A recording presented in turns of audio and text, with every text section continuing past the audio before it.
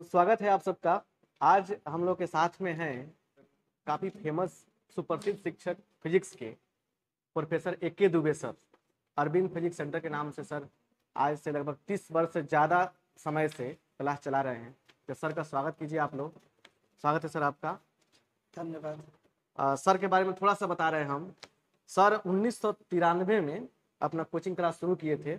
उस समय बीटेक और एमटेक की डिग्री प्राप्त करके कोचिंग क्लास शुरू किए तो सबसे पहले सर से हम जानना चाहेंगे कि थोड़ा सा संक्षिप्त विवरण अपने बारे में दीजिए बताइए हमारे व्यूवर्स को।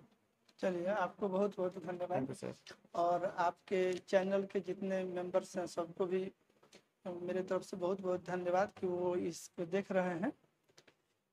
तो देखिए एम टेक के बाद I I T B H U से मैं अपने कर रहा था, लेकिन मेरे दिमाग में जो है एक जुनून था कोचिंग स्टार्ट करने का। एक दौर भी था, उस दौर में जो है इंजीनियरिंग के स्टूडेंट्स जो हैं कोचिंग में इन कर रहे थे। कहीं कभी कोचिंग इंस्टीट्यूट हो इंडिया के बड़े बड़े जो कोचिंग इंस्टीट्यूट्स हैं, सब जगह जो है लोग जो है, जा जा करके और कोचिंग इंस्टीट्यूट अपना खोल रहे थे या कोई दूसरा कोचिंग इंस्टीट्यूट ज्वाइन कर रहे थे।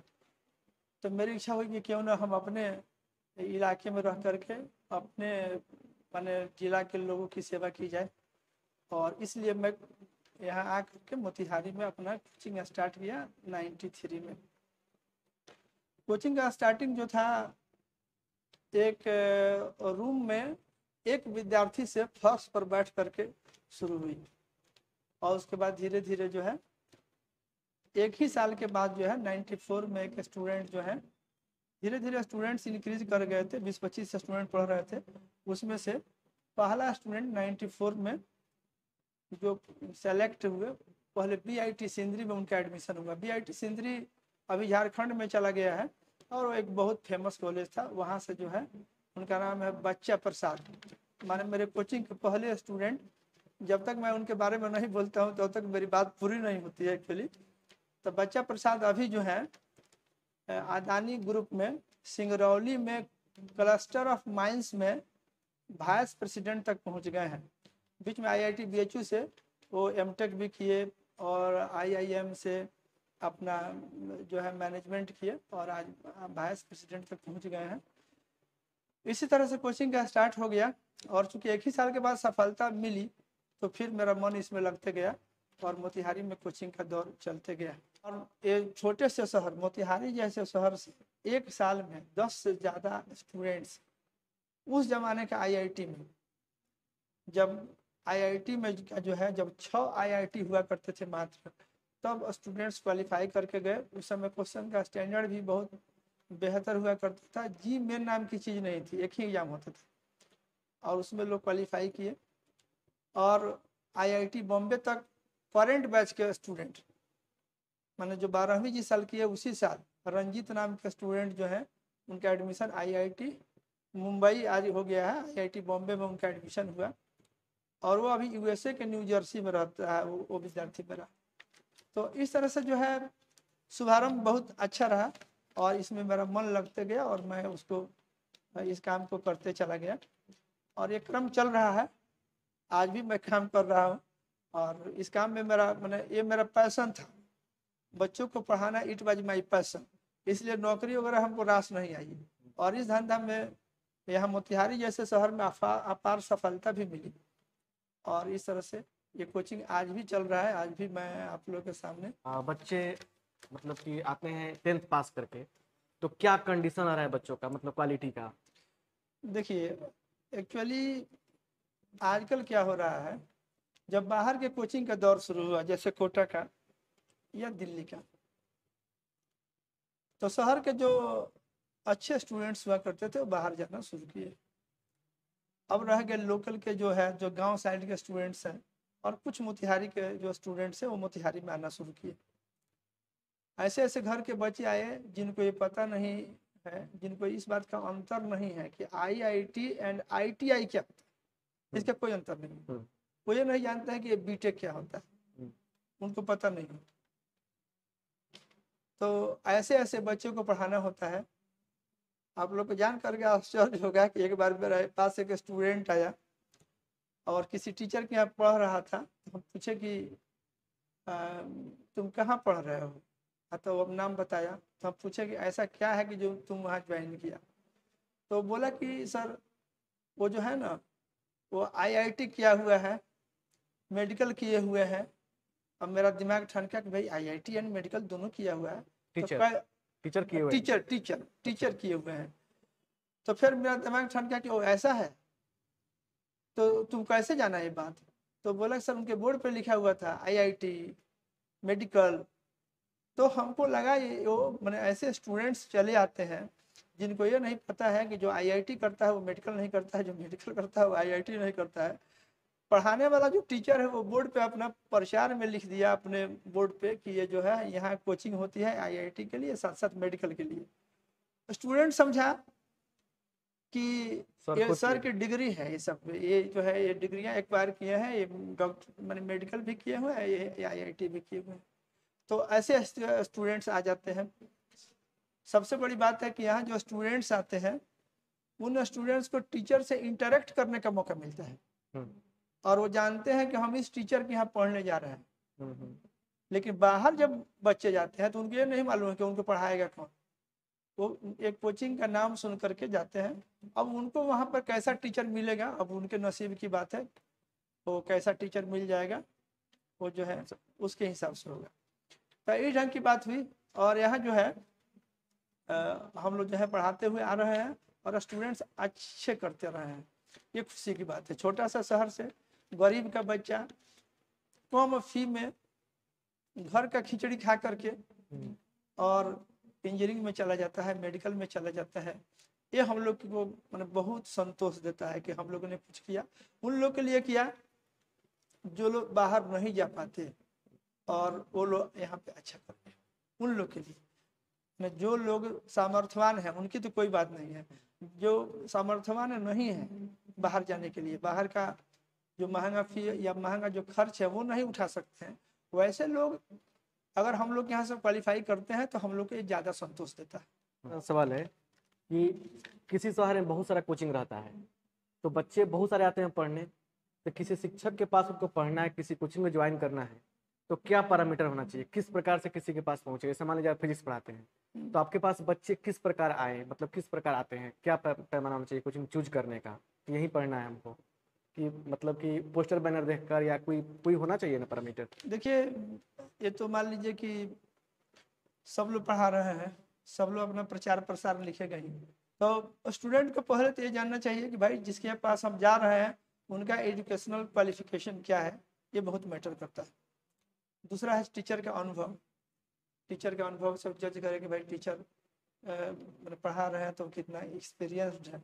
एक बात और दूसरी बात यह है कि उनका रिपूटेशन हम्म, भाई जिस टीचर का एक ट्रैक रिकॉर्ड है अच्छा कराने का बच्चों को पढ़ाने का तो वो टीचर मेरे ख्याल से बढ़िया होगा।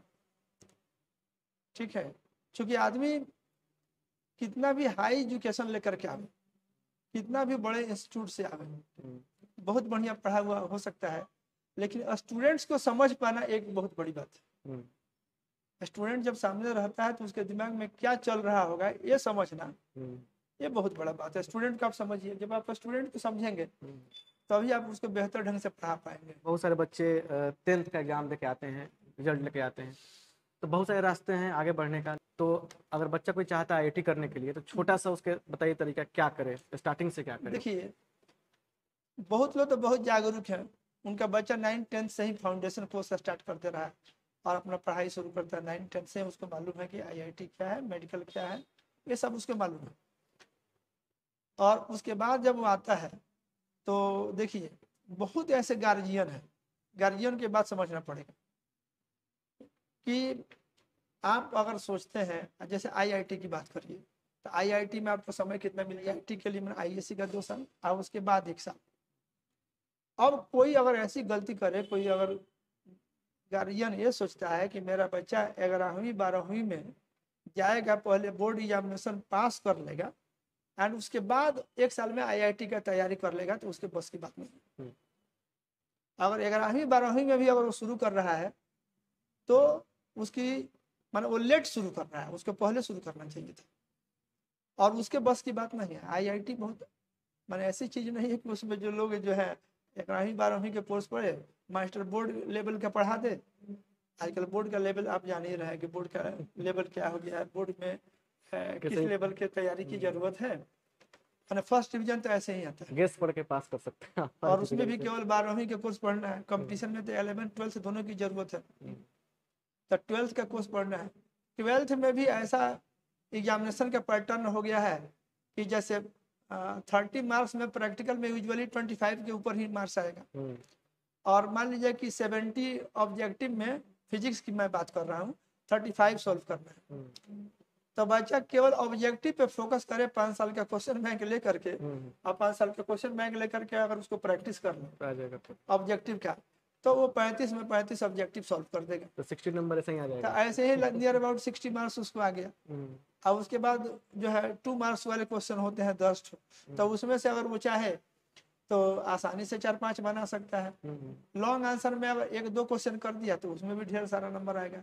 इसलिए बोर्ड एग्जामिनेशन में कम मेहनत में मान लीजिए कि तीन चार महीने की मेहनत में भी उसको seventy five percent plus marks आ जाएँगे। लेकिन उस मार्क्स से वो कुछ कर नहीं पाएगा। अगर उसका टारगेट आईआईटी जैसा कंपटीशन है जी मेन जैसा कंपटीशन है तो उसमें बहुत बच्चे लगे हुए हैं बहुत नाइन टेंथ से लगे हुए हैं। हम्म। उनके साथ उन, उनका कंपटीशन है।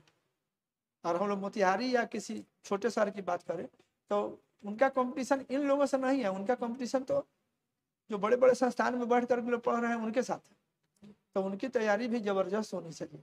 और ग्यारहवीं बारहवीं में अगर बच्चे कर रहे हैं तो वो लेट कर रहे हैं। ये ना बुझे कि हम ग्यारहवीं बारहवीं कर करके जा करके एक साल में हम तैयारी कर लेंगे उनके बस की बात नहीं। मेडिकल में तो थोड़ा टाइम मिल जाता है। मेडिकल हाँ। के बच्चे जो होते हैं उनको मैंने एज लिमिटेशन वगैरह नहीं है। तो मान लीजिए करते रहते हैं मान लीजिए ट्वेल्थ करने के बाद दो साल तीन साल तक देते रहते हैं। मोबाइल की यूज़ बच्चे कर रहे हैं। हम्म, कैसे बच्चे कैसे यूज़ करें उसका? मोबाइल का यूज़ से तो मान के चलिए कि 90 परसेंट स्टूडेंट्स जो हैं मतलब हाँ वो डिस्ट्रैक्टेड हैं। दस परसेंट होंगे जो उसका फ़ायदा लगाते हैं एंड वो बच्चे जो कि मैच्योर्ड हो चुके हैं उनके लिए मोबाइल है। लेकिन जैसे मान लीजिए कि बच्चा इलेवन ट्वेल्थ में आता है उतनी मैच्योरिटी नहीं रहती है। जब उसके आधार पर प्रिपरेशन शुरू करता है तो उसको दिक्कत होती है। वो जो देखना चाहता है वो नहीं देखता है। दूसरा चीज़ देख देख करके शॉर्ट्स देख देख करके और वो अपना दिमाग थका लेता है। मतलब रील्स देखने के चक्कर में रियल लाइफ चौपट हो रहा है माने वो कुछ कर नहीं पा रहा है। हाल तो ये हो गया है कि बच्चा रात में एक बजे दो बजे तक जगता है। अगर मॉर्निंग में क्लास हो तो तो मॉर्निंग का क्लास वो नहीं पकड़ सकता कर पाएगा। मॉर्निंग का क्लास जो है उसका छूट ही जाता है। हम्म, माने अधिकांशतः छूट जाता है। तो जितना उसको फ़ायदा है उसका सौ गुना बुझिए कि उसको घाटा है इसलिए दूरी बनावे। या अगर यूज़ करता है बाई दिवे तो ज़रूरत भर का यूज़ करे। हम्म, और पढ़ाई पे फोकस करे। किताब पढ़ने से उसकी बुद्धि बढ़ेगी। किताब जब अपने से क्वेश्चन पढ़ेगा और उसका एनालिसिस करेगा। तब उसको पता चलेगा भाई कौन सा प्रॉब्लम तो वो समझे। या कुछ टीचर कहेंगे कि नहीं मेरे पढ़ा देने से ही दैट इज़ ये सफिशिएंट ये तो ये तो तो ये देखिए ये बहुत अच्छा बात नहीं है। आप किताब पढ़िए किताब पढ़िएगा तो आप बहुत सारा बात सीखिएगा। हम्म, क्योंकि टीचर जब बोलते रहते हैं पूरी बात भी बोल दें तो आप पूरा बात आपके दिमाग कच करे ज़रूरी नहीं। हम्म, कुछ ना कुछ उसमें से छूटेगा ही। हम्म, तो फिर आप किताब पढ़िए हम्म, तो बाकी बात को मतलब आपका बुक जो है आपको सप्लीमेंट कर देगा। इसलिए किताब तो मस्ट है। हम्म। अच्छी किताबें हैं उनको आप पढ़िए। जैसे कोई बच्चा एग्ज़ाम दे रहा है टेंथ का हाँ। वो पास कर रहा है उसका नंबर फोर हंड्रेड प्लस आ रहा है बार बार ठीक। जैसे किसी का फोर हंड्रेड प्लस आ गया मैं ज़्यादा नंबर अटेंड कर रहा है। हम्म, तो जो पेरेंट्स लोग हैं बच्चे का नंबर देखकर एक्साइटेड होकर ये करेगा साइंस पढ़ेगा ये पढ़ेगा वो पढ़ेगा तो नंबर के बेस पर बच्चे का करियर डिसाइड करना कहाँ तक सही है? देखिए आजकल मार्क्स तो ऐसे ही आ जाते हैं। मार्क्स के को लेकर के जज न करिए। मार्क्स तो ऐसे ही उसमें भी टेंथ की बात करते हैं। तो टेंथ में मार्क्स के जहाँ तक सवाल है एक मिनिमम इफर्ट में मतलब बहुत ज़्यादा मार्क्स आ सकता है। सवाल यह है कि बच्चा पढ़ाई कैसे किया? हम्म, किसके देखरेख में पढ़ाई किया है? हम्म, उसका डेप्थ क्या? मार्क्स थोड़ा कम भी आएगा और उसके अंदर डेप्थ है तो आगे निकल जाएगा। हम्म, और मार्क्स लेकर के मान लीजिए कि आर्ट्स पेपर है उसमें भी मार्क्स लाता है बहुत तरह की बात है। तो वो सही जजमेंट नहीं है। और वैसे भी टेंथ लेवल के सिलेबस में एंड इलेवन ट्वेल्थ के सिलेबस में मैंने वाइड गैप हम्म, बहुत बड़ा है। अभी अभी एक प्रॉब्लम है कि बच्चे जब आ रहे हैं पढ़ने तो जो टीचर चाह रहे हैं पढ़ाना जब उनसे क्वेश्चन पूछ रहे हैं तो बच्चे क्लास छोड़ दे रहे हैं तो हमको नहीं पता। बच्चे को रिवाइज करने का तो मौका ही नहीं है। उसका दिमाग जो है मैंने जो कहा जाए कचरा से भरा हुआ है। हम्म। मोबाइल के जो कचरा है या अनवांटेड नॉलेज उसके लिए कहिए। उस अनवांटेड नॉलेज से उसका दिमाग एकदम भरा हुआ है। तो वो तो कभी देखता ही नहीं है, जैसे मान लीजिए क्लास करके गया। और क्लास करके गया, जो टीचर पढ़ाया उसको देखा ही नहीं। और फिर अगले दिन आ गया तो फिर क्या होगा? टीचर पूछेंगे तो उसको नहीं आएगी बात समझ में। तो देखिए, पढ़ाई उन्हीं लोग के लिए है जो पढ़ने के लिए इच्छुक हैं, जो पढ़ाई के प्रति फुल फोकस्ड है, वो लोग अच्छा करेगा। और जो लोग ऐसे ही मान लीजिए समय नहीं देता है सेल्फ स्टडी नहीं करता है वो समझता है कि टीचर से एक बार सुन लिए तो हमारा सब काम हो गया। नहीं होगा प्लस रेगुलरिटी मान लीजिए कि आपका क्लास छूटता है बीच में तो जिनका क्लास छूटता है फिर उनके बस की बात नहीं हम्म। वो नहीं कवर अप कर पाते हैं। सर के कुछ ऐसे विद्यार्थी हैं जो इंडिया से बाहर हैं मैंने काम कर रहे हैं इंडिया में काम कर रहे हैं। तो देखिए तो पहले बोले थे कि बच्चा प्रसाद मेरे कोचिंग के पहले स्टूडेंट हैं। वो जो क्वालिफाई किए। उसके बाद रंजीत कुमार है यूएसए में है मॉर्गन एंड स्टैनली में काम करते हैं न्यू जर्सी में रहते हैं वैसे। फिर आपका डीआरडीओ हैदराबाद में सौरभ कुमार है, एक नितिन कुमार है डीआरडीओ देहरादून में काम करते हैं। ठीक है विजय कुमार है, ये जो है साउथ अफ्रीका में रहते हैं, ये बी एस सी जी किया और एंड उसके बाद से जो है आई आई एम लखनऊ से आपका जो है एम बी ए किया एंड उसके बाद बाहर चले गए। डॉक्टर आदर्श है। डॉक्टर लोग से हमको ज़्यादा मुलाकात होते रहेगी क्योंकि इंजीनियर तो बहुत दूर दूर चले गए। हम्म, और जो डॉक्टर हैं वो लोकल में अपना प्रैक्टिस स्टार्ट किए तो उन लोगों से संपर्क बना हुआ है। तो इसमें जो है मैंने ढेर सारे जो मोतिहारी में आज के डेट में कार्यरत हैं उनमें से बहुत लोग हैं। जैसे एक कार्डियोलॉजिस्ट है मोतिहारी के नामी जिनका नाम डॉक्टर आशुतोष है। और उसके बाद से जो है ए, आप कहते हैं डॉक्टर प्रदीप न्यूरो सर्जन यहाँ के पारस हॉस्पिटल में भी काम करते हैं प्लस मोतिहारी में भी संडे को आते हैं। डॉक्टर राकेश मोतिहारी में रहते हैं एनेस्थीजिया के हैं। डॉक्टर सुमित मोतिहारी के हैं बेतिया अस्पताल में हैं। डॉक्टर नंदलाल मोतिहारी के हैं जो आपको अभी बनारसी में रहते हैं। डॉक्टर अजीत मोतिहारी में रहते हैं। ये कुछ लोग हैं, अब तो सबका नाम हम अभी नहीं आपको बता पाएँगे, वीडियो भी लंबा होते जा रहा है। तो ये ढेर सारे लोग हैं जो मेरे संपर्क में, मोतिहारी में रह करके मैंने हैं और इस इंस्टीट्यूट के विद्यार्थी रहे हैं, जो हमको गौरवान्वित करते हैं। और मैं अपनी अगर सफलता काउंट करूँ तो इन लोग को देख करके लगता है कि हाँ इस छोटे से शहर में रह करके भी बहुत कुछ किया गया। ये बहुत बड़ी बात है। तो चलिए बहुत सारा चीज़ सीखे हम लोग सर से। आप कमेंट में बताइएगा कि क्या क्या आपको आ, मतलब अच्छा लगा। सब चीज़ तो अच्छा ही था लेकिन आपके लिए कौन उपयोगी है? और फिर अपना राय दीजिएगा। और सर से शुरुआत. दीजिए आप सबका बहुत बहुत धन्यवाद। Thank you. चलिए आप सब लोग को बहुत बहुत धन्यवाद।